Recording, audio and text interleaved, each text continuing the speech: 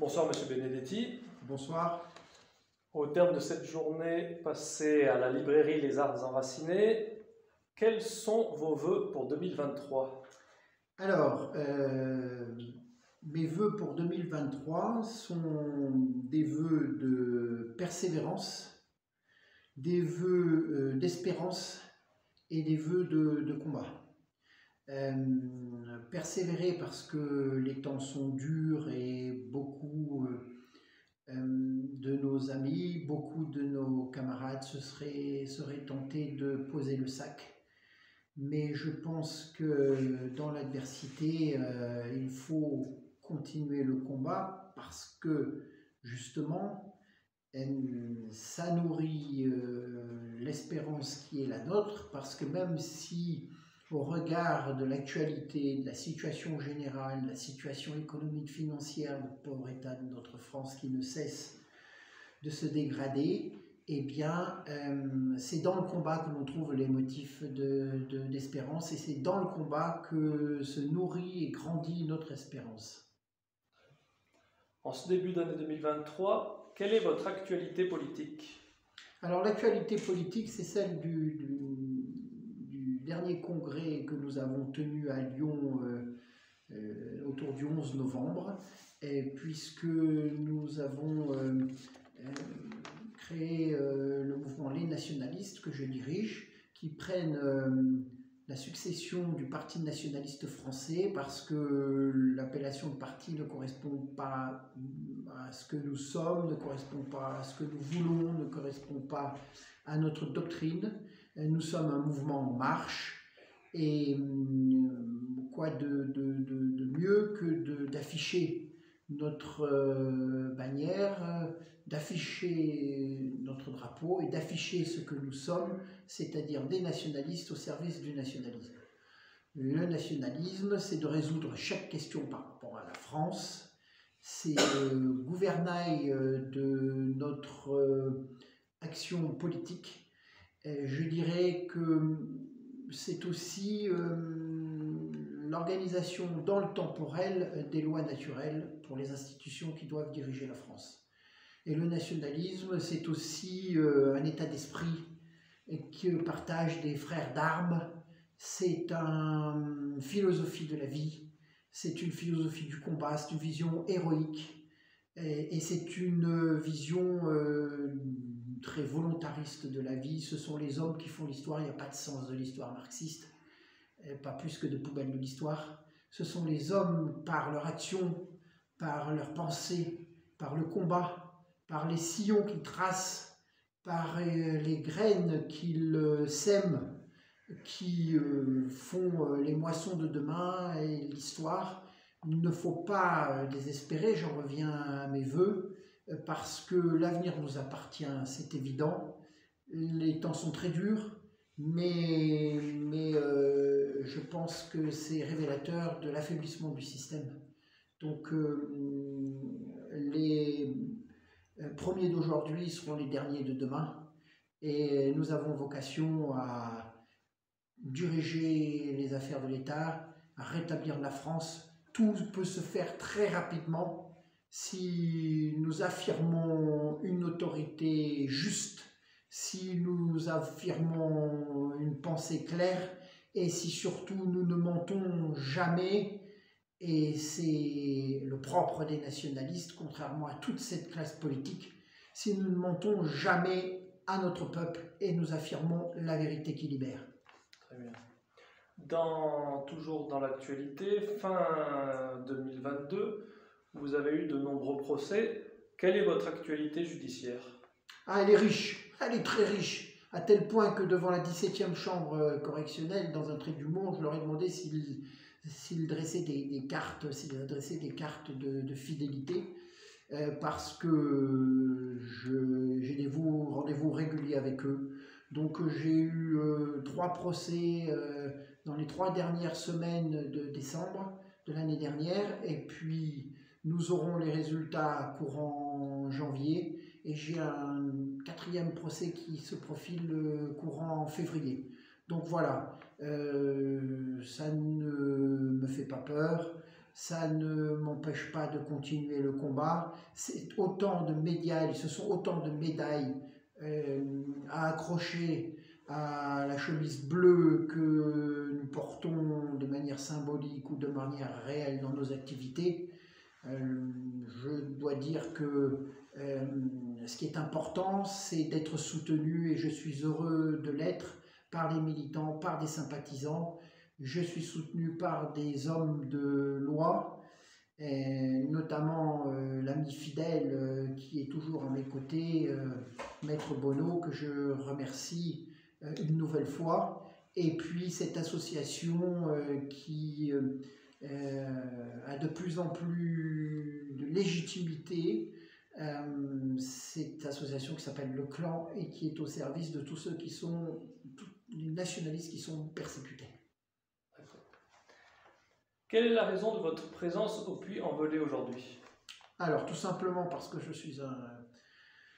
J'essaye d'être un garçon euh, bien élevé et de répondre à une invitation, euh, invitation aux militants nationalistes locaux, invitation à ce cher euh, Maxime, gérant de la librairie, de la boutique à enraciner, donc euh, j'étais euh, au Puy-en-Velay à l'occasion d'une galette des rois nationalistes. C'est important de défendre euh, nos traditions parce que la tradition, c'est ce qui fait le lien entre le passé, le présent et l'avenir. Et c'est ce que nos ennemis, avec efficacité, s'entreprennent à démolir, à détruire, à tuer une tradition qui est un héritage que l'on reçoit à, la naissance, que l'on se doit de défendre, que l'on se doit de transmettre. Donc euh, la, la, galette des rois nationalistes euh, célèbre euh, l'Épiphanie, qui est une fête chrétienne majeure hum, en France et, en Europe. D'ailleurs, je dois dire que hum, j'ai associé cela euh, à cette date du 6 janvier, pour l'éÉpiphanie, à la naissance de Pierre Sidos, qui est euh, celui qui a fait le lien entre le nationalisme de, l'avant-guerre et le nationalisme d'après-guerre, qui a été un maître politique pour moi et un, et ami cher, un ami fidèle. Le 6 janvier, c'est aussi la naissance de Jeanne d'Arc, qui est le plus beau symbole du combat que nous menons.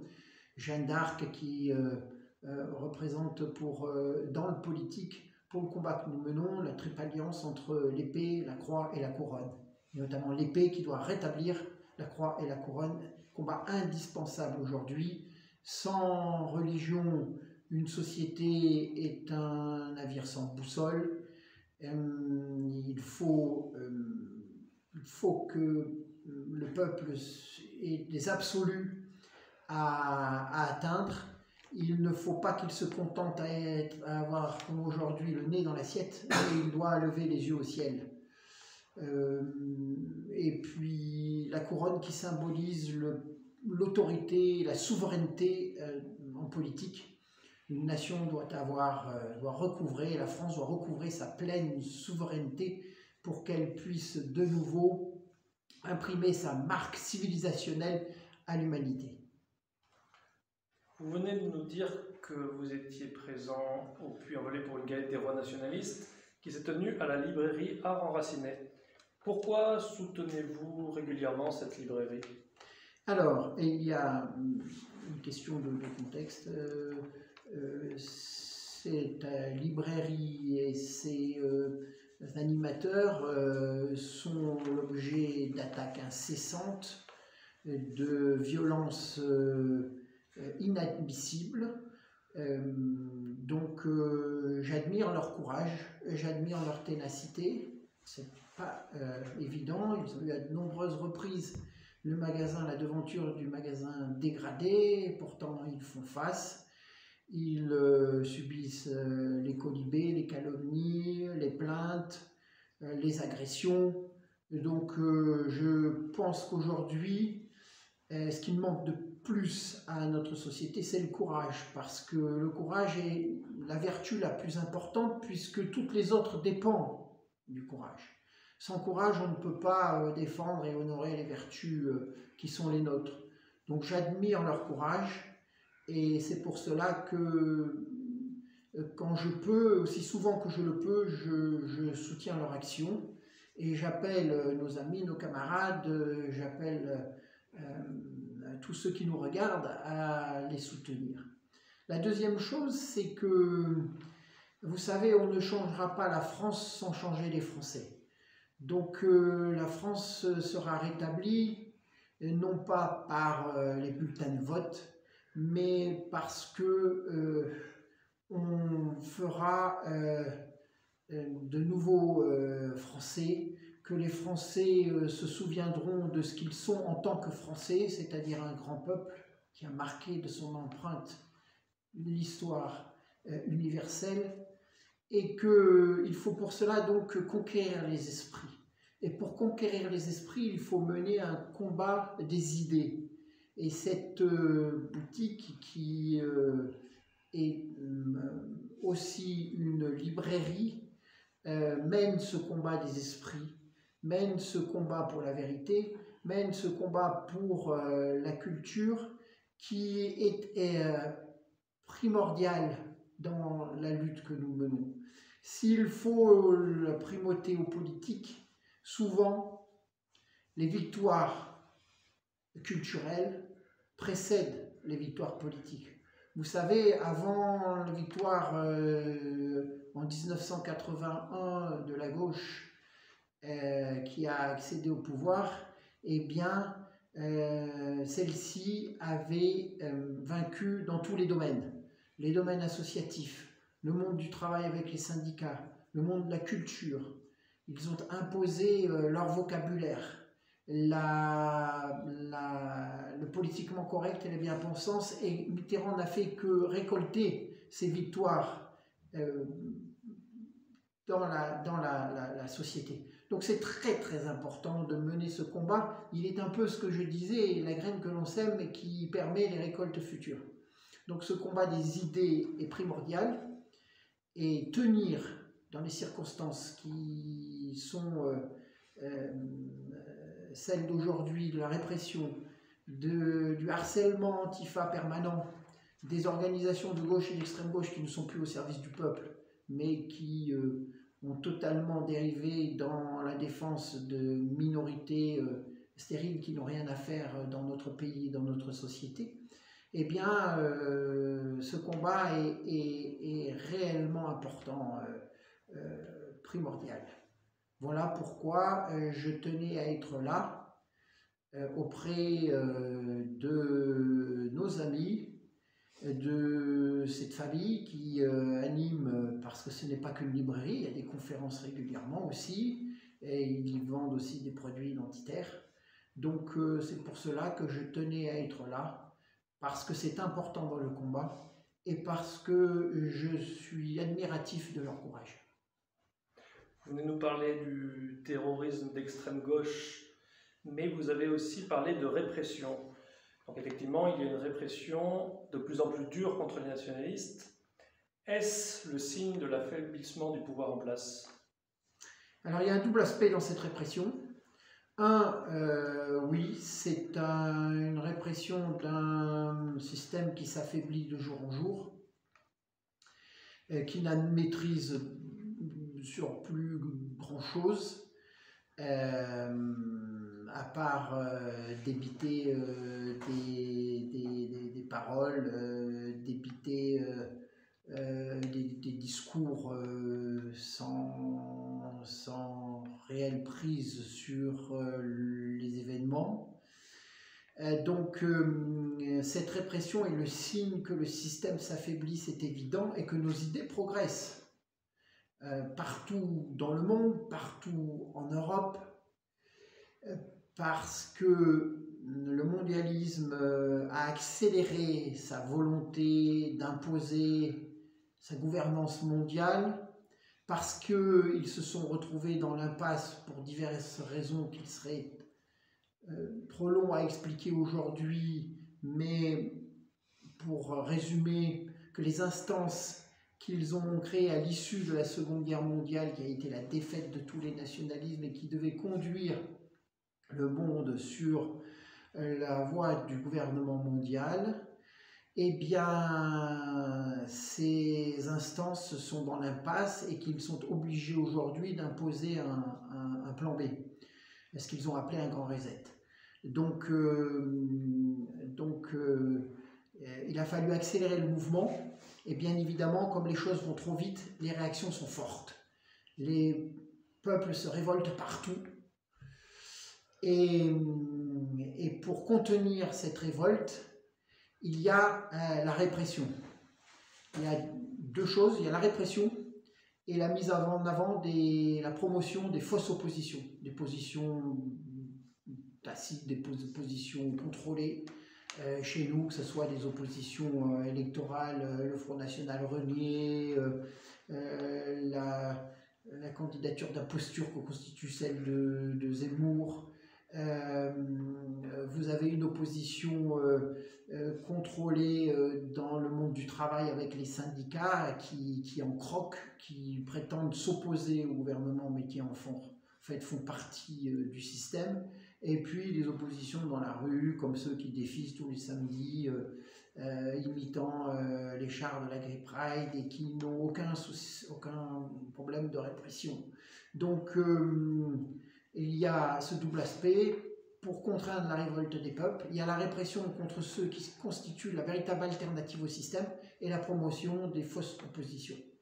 Et tout cela est, la preuve que euh, les révolutionnaires que nous sommes ne cessent de se renforcer et d'être en phase avec la société. Euh, et que euh, ce système s'affaiblit puisque les institutions sont incapables de résoudre les problèmes de fond auxquels le peuple et les Français sont confrontés. Dans l'attirail répressif du système, de nombreuses lois sur la liberté d'expression sont mises en place. Quand les nationalistes auront pris le pouvoir, supprimeront-ils ces lois ou seront-elles modifiées pour interdire le blasphème, la propagande antinaturelle et antinataliste? C'est une très très bonne question parce que nous, disons, les défenseurs de la liberté d'expression en matière de recherche historique, en matière de défense des droits des peuples, des droits des nôtres, défense du bien commun. Euh, mais euh, faut-il pour cela euh, tout accepter Nous pensons que non. Alors avant de continuer sur cette question-là, j'ai oublié de, vous dire que au regard des, différentes euh, décision du ministre de l'Intérieur, Moussa Darmanin, euh, la répression sert aussi à trouver, à donner un bouc émissaire facile, notamment les groupes militants, les groupes nationalistes, à euh, la situation sécuritaire du pays qui échappe totalement au gouvernement. C'est tellement plus simple et on l'a vu au moment des affrontements et au moment des dérives d'après-match de la Coupe du Monde, notamment euh, euh, de certains supporters d'équipes étrangères euh, dans nos rues, c'est beaucoup plus facile de présenter comme responsable et bouc commissaire les, les fachos, comme ils disent. Pour revenir à votre dernière question, il est évident que un État nationaliste euh, selon la définition de l'État, c'est la nation organisée pour l'accomplissement de euh, la destinée de la patrie, eh bien, ne peut pas tout euh, accepter. Et il ne peut pas accepter les sociétés secrètes, qui, parce qu'elles sont secrètes, ont certainement quelque chose à se reprocher, et on l'a vu de par leur passé, leur histoire, sont des sociétés antinationales. On ne peut pas accepter la dérive des mœurs et euh, la violation de la bonne morale euh, commune, notamment avec euh, la pornographie qui est promue aujourd'hui, qui participe à la destruction de la famille. on ne peut pas accepter euh, la promotion et la publicité de l'homosexualité. Si l'homosexualité est une affaire privée d'adultes consentants euh, dans une chambre privée, l'État n'a pas à regarder par le trou de la serrure. Par contre, si cette homosexualité et ces mœurs sort de cette chambre du privé et veut s'imposer dans le public en revendiquant de plus en plus de droits et en faisant de quelque chose qui, somme toute, qui devrait être très marginal et antinaturel, quelque chose qui serait la norme. Donc c'est totalement inacceptable et nous sommes les seuls à euh, dire que nous repénaliserons l'homosexualité. Alors beaucoup se choquent, sont choqués quand euh, je dis cela, mais euh, je vous prendrai un exemple très simple. Quand vous vous euh, promenez tout nu chez vous, ça ne pose aucun problème. Le problème est créé quand vous sortez ou si vous avez l'envie de sortir nu dans la rue, qui constitue un grave trouble à l'ordre public. Il en va de même pour l'homosexualité. Donc non, la liberté d'expression, la liberté de, de, publicité, de propagande de certaines attitudes antinationales, antipatriotiques, anti-morales ou amorales, anti euh, euh, aussi euh, qui, qui, va à l'encontre de la, de la justice, de la justice et de la répartition de la richesse nationale, par exemple, eh bien, doivent être contrôlées et euh, euh, sévèrement, euh, sévèrement combattu. Toujours dans le domaine législatif, nous savons par expérience que la gauche et l'extrême gauche sont largement protégées et à la botte du système. Cependant, une proposition de loi à l'Assemblée nationale a vu le jour pour la création d'une commission d'enquête contre les groupuscules d'extrême gauche. Que faut-il euh, penser d'une telle proposition de loi d'une part Et est-ce un danger pour les nationalistes? Alors, Tout ce qui vient de cette assemblée dite nationale euh, est, à, est à rejeter et on peut en aucun cas faire confiance à ceux qui disent représenter le camp national dans cette, dans cette enceinte.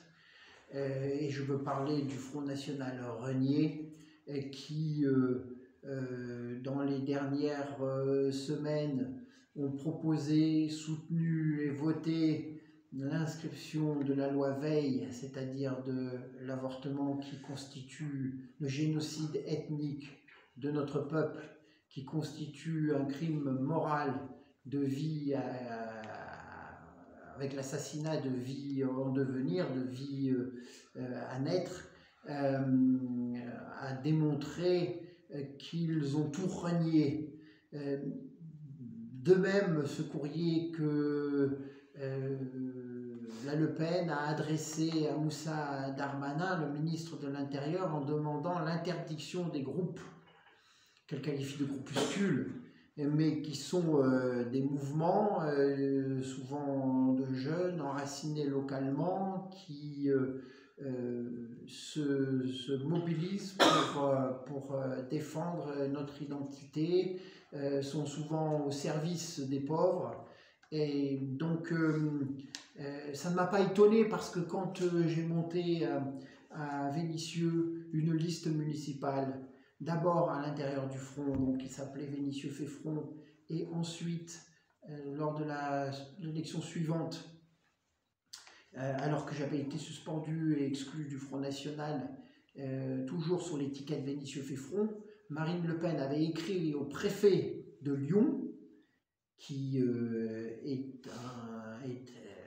l'artisan de la répression contre les nationalistes à Lyon, a pris une grande part dans l'interdiction de l'œuvre française, une grande responsabilité. Elle avait écrit à ce préfet pour demander l'interdiction de notre liste. Donc vous voyez ce qu'elle a fait aujourd'hui, elle n'est que la répétition de ce qu'elle a fait hier. Donc euh, de ce camp national, euh, euh, devrait émerger une volonté de lutter contre la gauche et l'extrême gauche, j'y crois pas du tout, c'est totalement bidon, c'est des faits d'annonce de, et de la publicité. Puis vous savez, même si le législatif a un pouvoir en France, j'ai fait l'objet d'une enquête d'une commission à l'Assemblée et ça a été sans grande conséquence. Euh, voilà. Donc non, aucune confiance à ce qui euh, émane du camp national, des représentants du camp national à l'Assemblée nationale.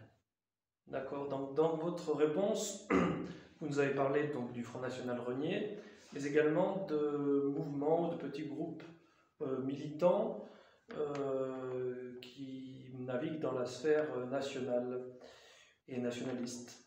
Avec, quel, euh, avec lesquels de ces groupes ou de ces mouvements serait-il intelligent de travailler?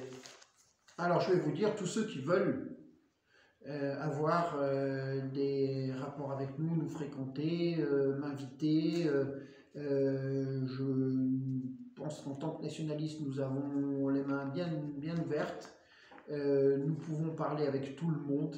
Mais en fait, vous vous rendez compte que très peu de gens veulent parler avec nous parce qu'il y a ce manque de courage. Nous avons été ceux qui euh, ont été dissous l'œuvre française. Nous sommes ceux qui mènent le combat contre le judaïsme politique. Nous sommes ceux qui affirmons qu'il faut avoir une conscience euh, ethnique. Euh, ce qui fait que, que, beaucoup ont peur de nous fréquenter. Euh, c'est pour ça que, en fait, c'est très simple. C'est ce que je dis en général. C'est je vais là où on m'invite et nos amis militants euh, des groupes locaux peuvent travailler avec tous ceux qui acceptent euh, de, de, nous fréquenter. Après, je vous dirais que il faut être souple avec les hommes, mais intransigeant sur la doctrine. Donc nous affirmons notre doctrine, nous transigerons jamais là-dessus, mais après nous considérons le nationalisme comme une amitié, et surtout nous ne voulons jamais nous fâcher pour des histoires électorales, c'est tellement superficiel, c'est tellement dérisoire, et ça rend les gens un peu fous l'élection. Donc on a cette ligne de conduite, on travaille avec ceux qui veulent nous, euh, nous euh, parler, euh, on ne se divise pas sur les questions électorales. Euh, on affirme les idées euh, de manière intransigeante, mais par contre, on lutte contre les divisions, ça c'est certain, parce que ça nos, sert nos ennemis. Donc pour rebondir sur votre réponse et pour conclure cette entrevue, que diriez-vous aux sympathisants, aux camarades qui nous regardent et qui voudraient rejoindre les nationalistes alors déjà, je leur dis qu'il faut s'engager. C'est très très important de s'engager. C'est ce que nous avons commencé l'entretien là-dessus, sur les vœux euh, d'espérance, parce que l'engagement, le combat nourrit l'espérance. Il ne faut pas rester seul aujourd'hui. Seul, c'est mourir. Seul, c'est être balayé. Seul, c'est euh, être euh, spolié. C'est être méprisé. Donc, la première des choses, c'est qu'il faut, euh, il faut euh, s'engager, mener ce combat, nourrir notre espérance. Ensuite, si vous voulez, un mouvement comme les nationalistes, euh, c'est une école de pensée qui a une grande expérience du combat.